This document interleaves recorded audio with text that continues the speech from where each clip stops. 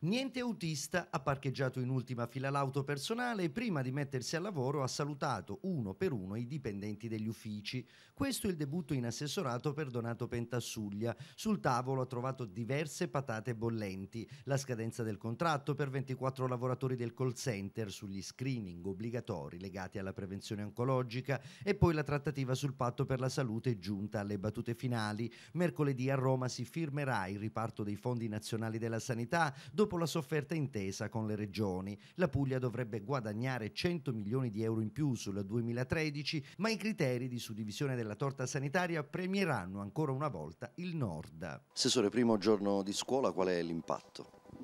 Come a scuola.